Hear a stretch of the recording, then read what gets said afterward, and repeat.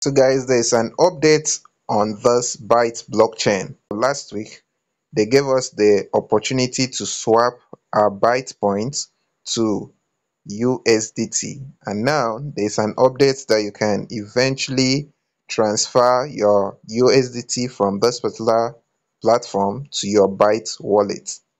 So that is what this video is all about. I'm going to show you the update and I'm also going to show you what you're to do on the platform. Let's go to their Telegram channel. Let me show you the updates. So I'm here in their Telegram channel and you can see this update here. They said we deliver 24-7 day by day. Byte wallet is officially launched. The moment every Byte buyer has been waiting for since day one is finally here. All users from the mining app should go to this particular website wallet.byteblockchain.org, log in with the same credentials and your funds will be transferred within the next 5 to 7 business days. Due to the large user base, the process will take a few days.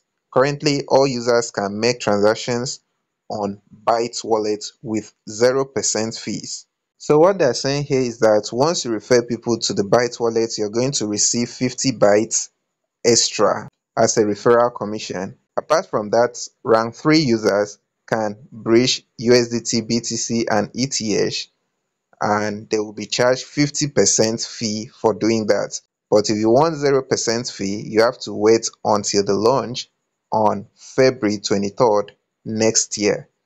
And apart from that, they also have an event here where they are going to be giving out up to 1000 bytes to 10 most liked comments in their post on X.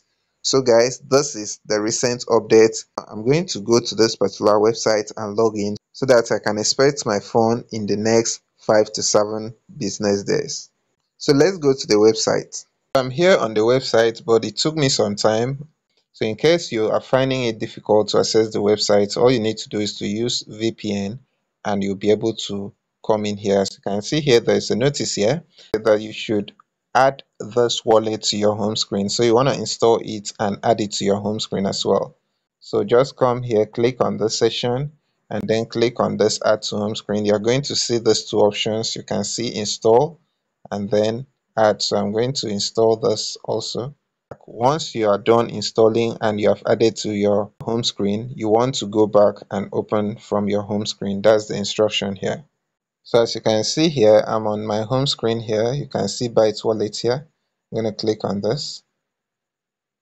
Once you click on the wallet, you're going to land on this interface. The next thing you want to do is to click on this login with Google. Remember, this was the same option that you used in creating your account, so you have to follow the same process again to log into your wallet. So that's successful. This is how the wallet looks like. And according to them, in the next five to seven days, your USDT will be here in this wallet.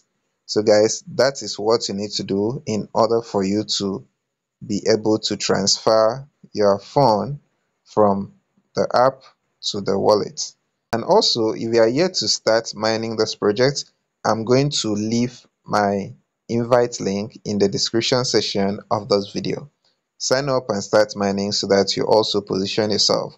The only thing i don't like about this platform is their unnecessary ads. It's always too much. That's the only thing i don't like about this platform but apart from that i'm seeing their progress and probably they're likely to do well. So let's just keep on keeping on.